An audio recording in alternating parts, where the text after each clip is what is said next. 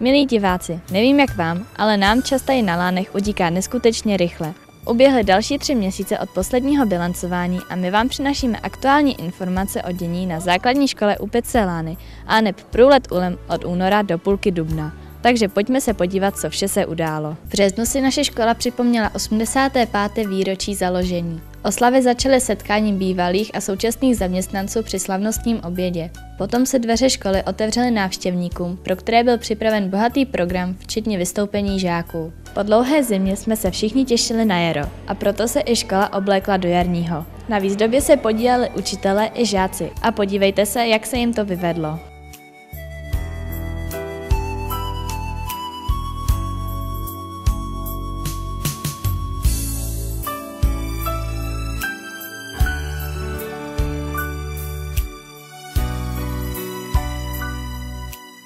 Tomto čtvrtletí proběhlo mnoho soutěží. Naši žáci reprezentovali školu v krajském kole astronomické olympiády, v okresních kolech matematické, fyzikální a zeměpisné olympiády. Zúčastnili jsme se okresního kola olympiády v českém jazyce. Naši zpěváci odjeli do Trutnova na pěveckou soutěž a škola se již tradičně zapojila do mezinárodní soutěže Matematický klokan. Úspěch sklidili Lukáš Nílc 8A a Cindy Duranová z 2A, kteří si odnesli ocenění za druhé a třetí místo v soutěži Požární ochrana očima dětí. Vyhlášení proběhne v Trutnově. Ani na sportovním poli jsme si nevedli špatně. V okrskovém kole ve šplhu prvních až pátých tříd škola obsadila druhé místo. Žáci šestých až devátých tříd v okrskovém kole vybojovali pohár pro vítěze okrsku. Výborných výsledků dosáhli lánčtí reprezentanti z druhého stupně v krajském kole. Dívky v kraji nenašly přemožitelky a brali nejcennější kov. Iveta Rohanová z 9A získala první místo a druhá byla Lucie Sachrová z 8A. I chlapci se vešli na stupně vítězů. Výsledkem jejich snažení bylo skvělé druhé místo.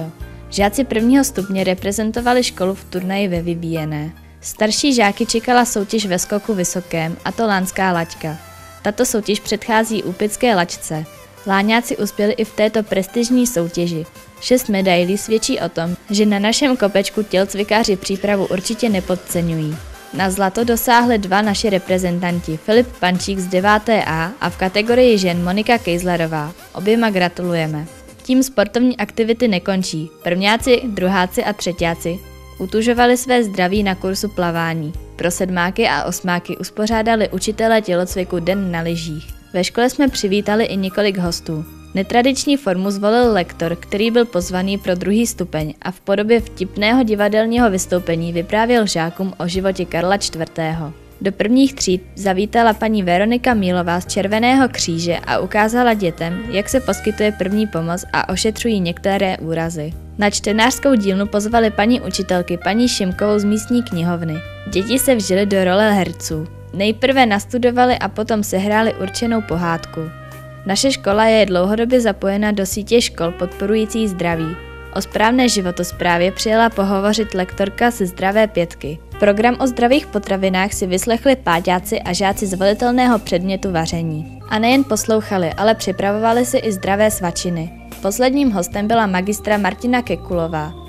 Ta přijela za učiteli, kteří ji požádali, aby pohovořila na téma týrané a zneužívané děti. Jedno odpoledne si tak kantoři s námi vyměnili místa a poslouchali rady zkušené lektorky.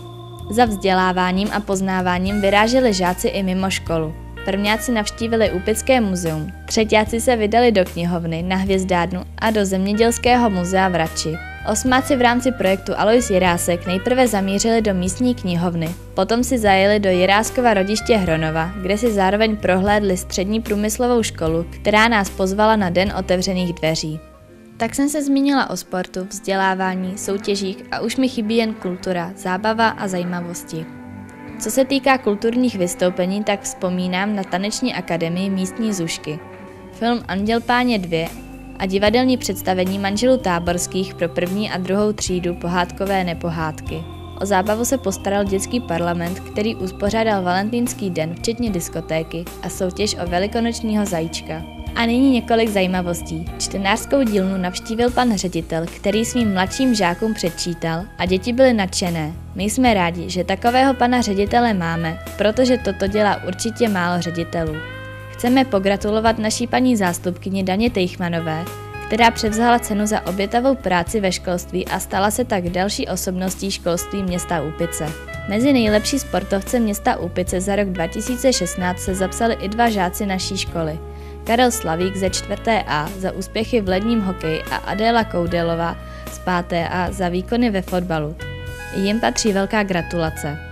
No a to nejlepší, především pro nás žáky na závěr. Učitelé nám pořídili tři nové gauče, které využíváme hlavně o přestávkách. Ale já a moji spolužáci z 9. B jsme je takzvaně zajeli při přespávačce ve škole. A na závěr zmíním, že po zápisu budoucích školáků se od září můžeme těšit na třídu nových prvňáčků. Pokud se chcete o naší škole dozvědět více, navštivte www.zsou.cz nebo nás přijďte navštívit osobně. Hned 1. května k tomu budete mít příležitost. Dojde k slavnostnímu otevření sportovního areálu za naší školu. Areálu, který ponese název na počest našeho zesnulého pana učitele Květoslava Matysky. Pro televizi JS Alena Jursíková.